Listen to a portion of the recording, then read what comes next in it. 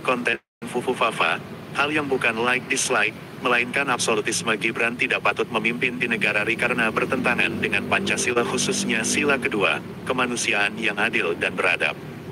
Gibran tentu kategori tidak beradab, tegas Damai Lubis.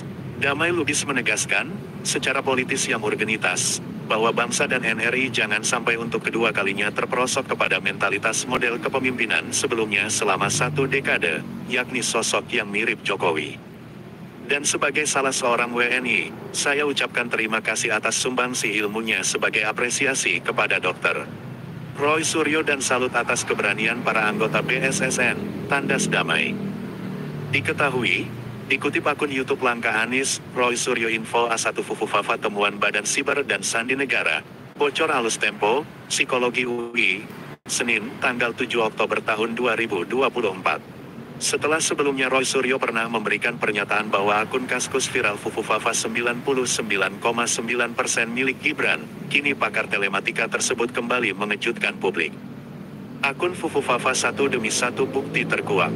Meskipun berat, ia menyebutkan dirinya yang dilaporkan akibat temuan akun Fufu Fafa 99,9% itu mengarah ke Gibran, kata Roy Suryo disampaikan di akun YouTube Langkah Anis, Senin tanggal 7 Oktober tahun 2024. Perjuangan bocor halus tempo meski berat mengeluarkan rilisnya tentang Fufu Fafa, sebenarnya pengakuan Roy dirinya pernah mendengar informasi terkait kepemilikan akun Fufu Fafa tetapi lebih bagus apabila ada institusi negara yang mengungkap, imbuhnya. Roy menuturkan apa yang dirilis bocor halus tempo itu menarik, Katanya mereka dapat kabar bahwa dua minggu lalu ketika kasus akun Fufu Fafa itu heboh sudah ada perintah untuk langsung ke BSSN, Badan Siber dan Sandi Negara institusi resmi biasa memvalidasi kalau ada temuan dan biasanya diandalkan oleh Kominfo dan nantinya diandalkan dalam penyidikan di aparat. Dan ternyata temuan BSSN ini mengejutkan karena akun Fufu Fafa yang ada di Kaskus yang beberapa tahun lalu memang valid milik Wapres terpilih sehingga membuat istana menjadi kemudian panik gitu ya, tandas Roy Suryo. Validasi BSSN soal Fufu Fafa, Damai Lubis, Gibran secara hukum dan moral tidak layak jadi Ri2 Jakarta1.com tanggal 7 Oktober tahun 2024. JAKARTASATU, kom, Akun Fufu Fafa masih menjadi sorotan publik jelang pelantikan Prabowo Gibran tanggal 20 Oktober mendatang.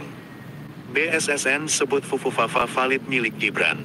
Terkait akun ini ramai banyak mendapat tanggapan para analis mengingat akun tersebut dikaitkan dengan calon wakil presiden terpilih lantaran diduga milik Gibran Raka Buming Raka. Dari sisi hukum tentunya absolut terhadap Gibran Raka Buming Raka yang latar belakang sekedar lulus SMP tidak memenuhi persyaratan pendaftaran KPU, Jo. PKPU Jo. UU tentang pemilu, yang mengharuskan ijazah minimal SMA atau sederajat, kata pengamat hukum dan politik Mujahid 212, Damai Hari Lubis saat dihubungi Jakarta 1, Senin, tanggal 7 Oktober tahun 2024. Dari sisi moralitas isi konten Fufu Fafa, hal yang bukan like dislike, melainkan absolutisme Gibran tidak patut memimpin di negara RI karena bertentangan dengan Pancasila khususnya sila kedua, kemanusiaan yang adil dan beradab. Gibran tentu kategori tidak beradab, tegas Damai Lubis. Damai Lubis menegaskan, secara politis yang urgenitas, bahwa bangsa dan NRI jangan sampai untuk kedua kalinya terperosok kepada mentalitas model kepemimpinan sebelumnya selama satu dekade, yakni sosok Kaskus viral Fufu Fafa 99,9% milik Gibran, kini pakar telematika tersebut kembali mengejutkan publik. Akun Fufu Fafa satu demi satu bukti terkuat. Meskipun berat, ia menyebutkan dirinya yang dilaporkan akibat temuan akun Fufu Fafa 99,9% itu mengarah ke Gibran. Kata Roy Suryo disampaikan di akun YouTube Langkah Anis, Senin, tanggal 7 Oktober tahun 2024. Perjuangan bocor halus tempo meski berat mengeluarkan rilisnya tentang Fufu Fafa, sebenarnya pengakuan Roy dirinya pernah mendengar informasi terkait kepemilikan akun Fufu Fafa tetapi lebih bagus apabila ada institusi negara yang mengungkap, imbuhnya.